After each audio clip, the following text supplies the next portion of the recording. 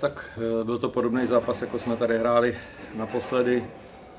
Eh, hodně z defenzívy, s minimem šancí na obou stranách. Zase čekalo víceméně ve třetí třetině, kdo udělá tu chybu. Minule jsme ji udělali my, domácí to potrestali.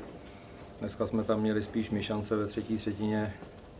Nakonec to pro nás dopadlo dvouma bodama, takže samozřejmě my jsme za to rádi a, a jsme spokojení s dnešním zápasem. Výborně růža vzadu s jistotou a říkám dva body pro nás výborný. Děkuji, poprosím pana Jiřího Webra z Vítkovic o zhodnocení zápasu. Tak my jsme si vědomi, eh, pro nás každý zápas je důležitý, to si myslím pro, pro všechny víme, kde se nacházíme. Eh, snažili jsme se podle toho taky přistoupit k tomu, k tomu utkání. První třetině si myslím, že tam eh, že to bylo takový v- v- opatrnější, ale nějaký šance jsme si tam vytvořili. Eh, Nevyužili jsme druhou třetinu, tam eh, kolem, myslím, že to bylo desátá minuta, tak si myslím, že tam soupeř měl nějaký nebezpečný situace.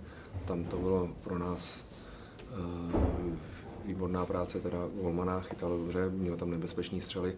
Ve třetí části jsme měli znova nějakou tu šanci, ale neproměnili jsme to. Pak to dospělo do prodloužení a bohužel v tom prodloužení jsme nebyli úspěšní. Děkuji. Prostor pro vaše dotazy. Tam jenom bych ještě podotknul, že v tom prodloužení, když si vezmu, tak vlastně my jsme se vůbec nedostali na kotouč.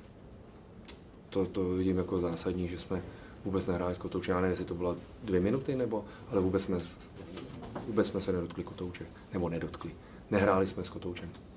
Děkuji za doplnění. Prostor pro vaše dotazy. Žádné nejsou. Bych se možná zeptal, jestli jak to vypadá s Patrikem Zdrálem. Jo, už, už je zapojený v tréninku, v, v, v tréninkovém procesu a uvidíme, kdy nastoupí. To, se, to samé je i o Kuby Kotali.